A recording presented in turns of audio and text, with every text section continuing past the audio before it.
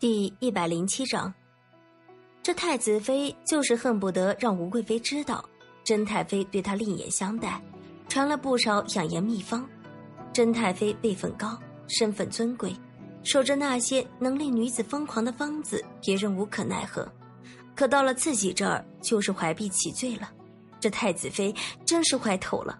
甄妙有一些不高兴，抿了唇道：“太妃见了我。”肯定不会像见了女儿的，怎么会呢？我看太子妃对世子夫人可不一般呢。那是把我当孙女吧？甄妙不软不硬的顶了太子妃一下。吴贵妃看向甄妙的眼神又多了几分深意。宫里那位太妃她是见过的，可真是神仙妃子般的人物。这也是那日听闻那臭豆腐是郑国公世子夫人做的，起了兴致尝尝的原因。今日得了机会交谈，果然传言不假。这位世子夫人和甄太妃是极像的。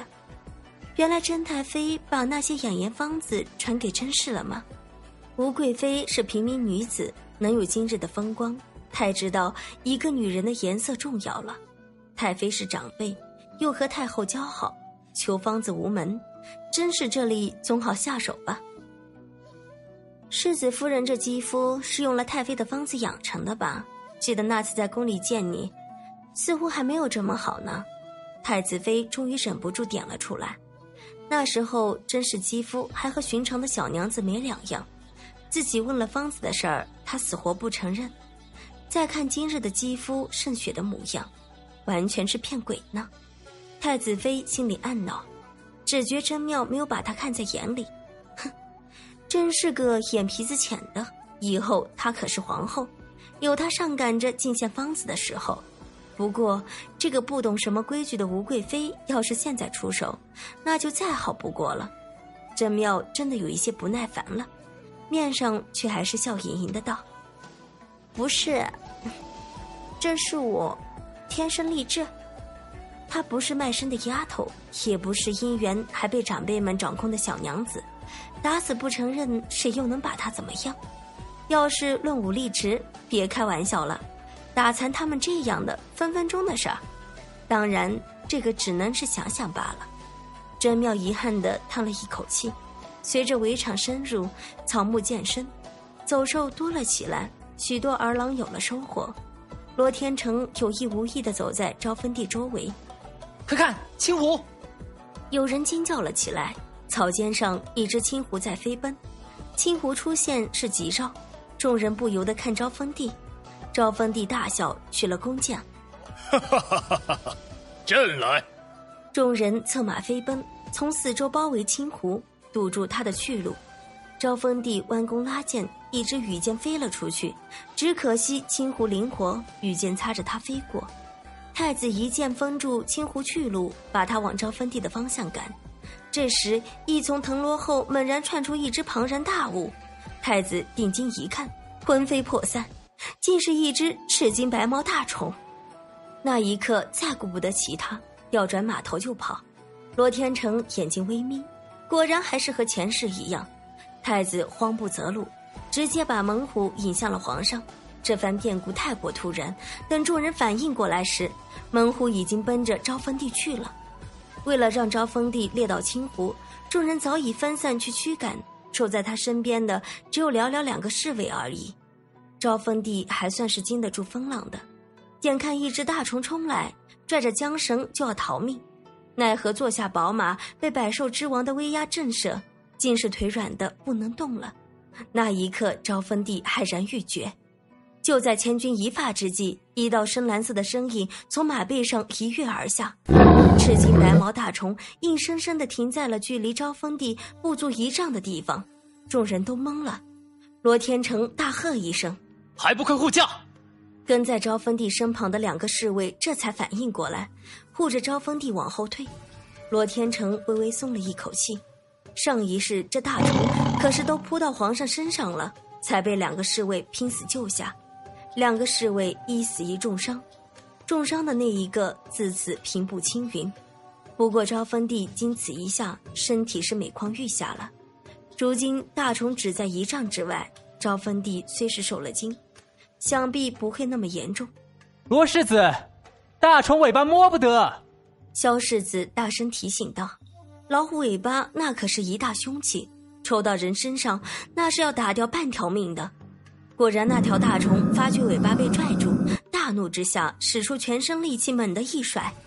骑马而来的出峡郡主看到这情景，吓了一跳，调转马头就飞奔而去。跟在一旁的江氏则吓得一动不敢动，直愣愣地盯着场中。真庙这边强忍着不耐，应付着吴贵妃和太子妃。就见出峡郡主飞奔而来，真死，快跟我走！人还未至，出峡郡主就大声喊道。真庙乐得脱身，赶紧迎了上去。公主怎么了？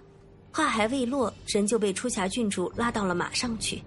出霞郡主狠狠一甩马鞭，带着真妙飞奔而去，留下吴贵妃和太子妃面面相觑。太子妃心思细腻，看着出霞郡主消失的方向，面色微变。难道是出了什么事了？吴贵妃心里突突直跳。她的富贵荣华全部依托在皇上身上，皇上要是出什么事，吴贵妃纵马追去。太子妃愣了愣，也策马跟上。那些悠闲溜达的女眷们意识到不对劲儿，靠拢在一起跟了上去。看着搏斗在一起的一人一虎，惊叹声此起彼伏。不少人手持弓箭对准场中，奈何罗天成和猛虎缠斗的太厉害，人们手中的剑迟迟不敢放出去，生怕误伤了人。昭封帝盯着场中，神情莫测。太子脸色惨白的立在一旁。昭封帝自始至终都没有看上一眼，场中情景陡然生变。猛虎长啸一声，尾巴奔直的狠狠一甩，扫起一片扬尘。罗天成避开，虎尾带起的劲风如刀，割得他脚踝生疼，隐隐有些站不稳了。就是这么眨眼的功夫，猛虎一跃而起，把罗天成扑倒了。不少人惊叫了起来。出峡郡主和真妙共乘一骑奔来。见了这情景，真妙惊叫出声，然后摸了摸，从怀里摸出一把菜刀来。当初罗天成一共送了一套共三把的菜刀，这一把最薄最小巧的，倒是可以当个大号匕首用。真妙出来打猎，鬼使神差的就揣在了怀里，用来防身。听到熟悉的声音，罗天成抽空看来，就看到那抹再熟悉不过的人，沉着冷静地摸出了一把菜刀。比划着，打算甩了过来。罗天成脸色顿时扭曲了一下，别没有葬身在老虎口下，反倒是葬送在自己媳妇儿的菜刀之下，且那菜刀还是自己送的。当下再顾不得藏拙，双脚勾住一条虎腿，然后狠狠一扭，就听咔嚓一声，老虎骨折了。猛虎倒地，痛苦的挣扎。罗天成站起来，从容的拍拍身上尘土。然后脸色顿时僵住，一支不知从何处飞来的冷箭，直奔真妙和出霞郡主二人而去。真四，小心！罗天成脑海放空，拔腿狂奔。真妙和出霞郡主共乘一骑，出霞郡主在前，真妙在后。那冷箭破空而来，速度极快，带着尖锐的呼啸声。真妙日日坚持锻炼，身体反应还是比常人快一些。利剑已经近在眼前。出峡郡主彻底愣住了，真妙一把把她推开。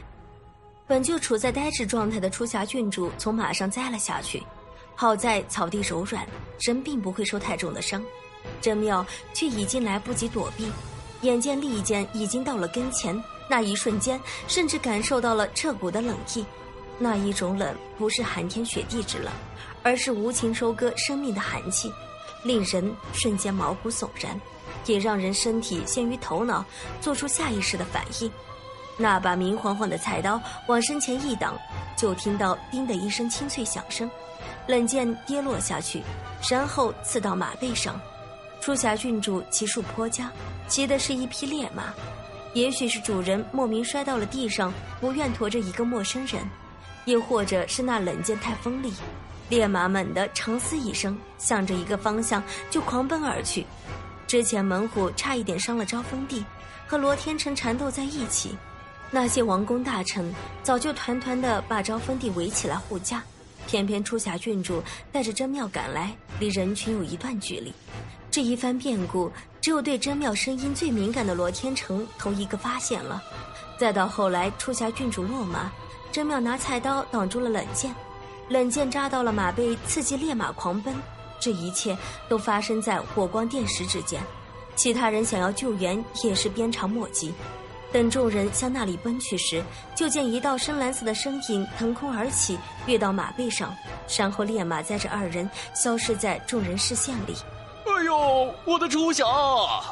永王慌慌张张下马，向初霞郡主跑去。昭芬帝稳住心神，吩咐道：“快来人救治初霞公主，龙虎卫各遣一队去寻郑国公世子夫妇。”说到这一顿，面色冷凝，务必把人找到。然后瞥了一眼那弹落到地上的冷箭，声音变得寒冷：“武明，这冷箭一事，就交给你彻查。”是。一个英挺的男子抱拳道，心中却有一些叫苦。他和罗天成同为指挥千使，是这一次随行的锦陵卫最高长官。这么混乱的场合，想查冷箭是出自何人之手，谈何容易？要是查不清楚，不但在皇上面前落个办事不利的印象，恐怕旁人还要猜测是不是二人素日多有竞争。他没有尽心，朕心中百般不愿。还是上前去把静静落在草丛中的羽箭捡了起来。宝贝闺女，你没事吧？永王把初霞郡主扶起来，脸色焦急。都说让你在家里好好待着，你这丫头总是不听。这下好了，差点连命都没了。永王念叨着，越想越后怕。他可真不该一时心软，想着女儿要远嫁蛮夷，就带她来狩猎。没看那么多女眷。都是王公大臣的妻妾，哪有一个未出阁的小娘子？永王上看下看，没有发现伤处，才稍稍放了心。初霞呀，以后可不能任性了。父王，初霞郡主自跌下马，一直处于呆滞中，猛然一回神，抓住了永王的衣袖。真嗣呢？真嗣。永王一时没有反应过来，初霞郡主却如梦初醒般。不好！我要去救他！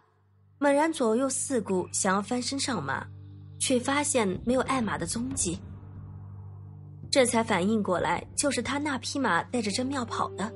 初夏郡主顿时急了，他是烈雪的主人，没有谁比他更了解烈雪的脾气。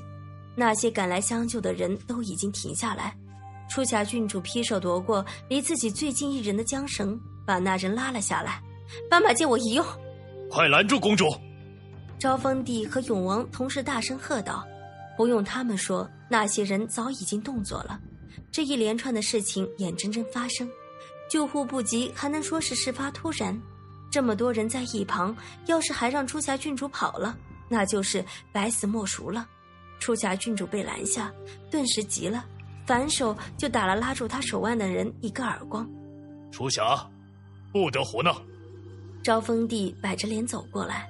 初霞郡主气势软了下来，皇伯父，儿臣得去救正嗣。这个侄女也是从小看着长大的，昭芬帝颇为疼爱，又要和亲满矣，这疼爱中就多了几分怜惜，语气自然就没有那么冷硬了。朕已派两队龙虎卫去追了，可是烈雪跑得很快，罗世子追上去了，有他在，不会有事的。初霞郡主那时从马背上跌下来，闷了一会儿，没有看到后来的情景，眼中满是担忧。黄伯父，那冷箭是冲着儿臣来的，是真嗣替儿臣挡了箭。他，他，说到这里，终于说不下去了，眸中泪光隐现，偏偏当着那么多人的面，不愿意露出软弱的一面，咬了唇，死死忍着。昭丰帝当时离得远，又被人团团围着。并没有看清，听出霞郡主这么一说，只得安慰道：“真嗣是个有福气的，不会有事的。”这时，一个声音响起：“皇上，公主，郑国公世子夫妇当时并没有受伤。”昭丰帝看了取了冷箭回来的古明一眼，古明忙解释道：“当时臣看得清楚，那冷箭撞到了郑国公世子夫人手中的匕首上。”说到这里，心里有一些打鼓了。那玩意儿是匕首吧？可是又不像似乎是比匕首要宽许多。古明这里纠结着，偏偏还有个多嘴的人。古大人看错了，谁这么拆台呀？古明豁然抬头看去，一看是六皇子，顿时老实了。初夏郡主白了脸，看错了，六皇兄，这么说，真似他是受伤了。六皇子嘴角翘了起来，没受伤。初夏郡主柳眉倒竖，那你还说古大人看错了？六皇兄，都这个时候了，你还胡说？是看错了，真嗣拿着的哪是匕首，分明是一把菜刀。一把菜刀，众人一脸被雷劈了的表情，一时间全场寂静，只听到鸟鸣虫语声，心中同时升起一个念头：郑国公世子夫人到底是哪路神仙，怀里居然揣着一把菜刀？不对，要真是一把匕首，匕身那么细窄，说不定根本挡不住那支冷箭。那箭就要射到他身上去了。想到这儿，所有人都心中一冷，然后骇然：郑国公世子夫人那是有多好的运气啊！皇上都说了，郑国公世子夫人是有福之人。众人齐刷刷的看向昭封帝，眼神里满是崇拜。昭芬帝诡异的看懂了臣子们的眼神，瞬间有一些微微得意，轻咳了一声道。初霞，你都听到了，真嗣没有受伤，又有罗世子跟着，以罗世子的本事，定会护他周全的。初霞郡主听了，这才稍稍放下心来。昭分帝转了身，好了，随朕回宫等消息吧。众人簇拥着昭封帝上马离去。自始至终，昭封帝都没有再看失魂落魄的太子一眼。那些女眷们都已经赶来，太子妃不知之前的事儿，见太子神色不对，以为是被吓着了，凑过去道：“太子，回行宫吧，臣妾给您煮安神汤。”后面的话被太子冰冷绝望的目光冻得没有说出来。太子妃张了张嘴，欲言又止。太子一把推开太子妃，踉跄的翻身上马。太子妃看了看，来到江氏面前，江氏。你和公主先来这里，可知道到底发生了什么事？江氏浑身一颤，脸色极为难看，猛然摇头道：“我我不知道，我什么都没有看见。”也顾不得礼仪，抓紧缰绳就奔到了欧阳泽那里。太子妃见此，不好多问，赶忙去追太子去了。回了行宫偏远，江氏才觉得手脚发软，抓着欧阳泽的胳膊道：“夫君，我我失礼了。”太子妃不会怪罪我吧？欧阳泽目光晦暗不明，缓缓道：“恐怕太子妃以后顾不得了。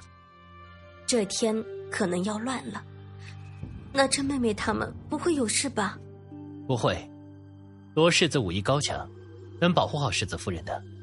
说不定他们回来还能赶上中午饭呢。”可惜所有人都估计乐观了，直到天黑下来。寻人的队伍归来，才得到一无所获的消息。怎么会寻不到人？昭封帝一拍桌案，龙威尽显，领头的人单膝跪地请罪。臣无能，顺着那方向找遍了，也没找到罗世子。北河围场极大，天黑了就更没法找了。那马儿是活物，难道不会改变方向吗？给朕搜地三尺，无论如何要把人找到。遵命。罗天成和真妙两个大活人为何会遍寻不到？要从烈雪载着二人狂奔而去说起。北河围场并不是一望无际的草原，还有成片的森林，地势高低起伏。眼看烈雪要冲进密林，那参天的古树要是撞上了，这样的速度必然是马毁人亡的下场。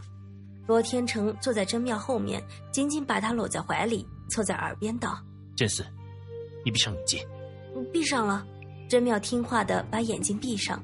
马跑得那么快，快的令人心惊胆战。可因为身后多了一个人，竟莫名的安了一些。扔了菜刀，因为紧张忘了收起来的菜刀，立刻被扔了出去。不要怕，没事的。罗天成在真妙耳边低喃着，抱着他从马背上跳了下来。也许是屋漏偏逢连夜雨，二人滚落之处偏巧是一块松土。承受了二人重量，一下子就陷了下去。罗天成往旁边翻滚，竟是一个陡坡，二人直接就咕噜了下去。甄妙意识模糊的觉得，滚了简直有一辈子那么长，像是没有尽头似的。昏迷的那一刻，只想到一句话：简直是坑人呐！男人的话要是能信，母猪果然都能上树了。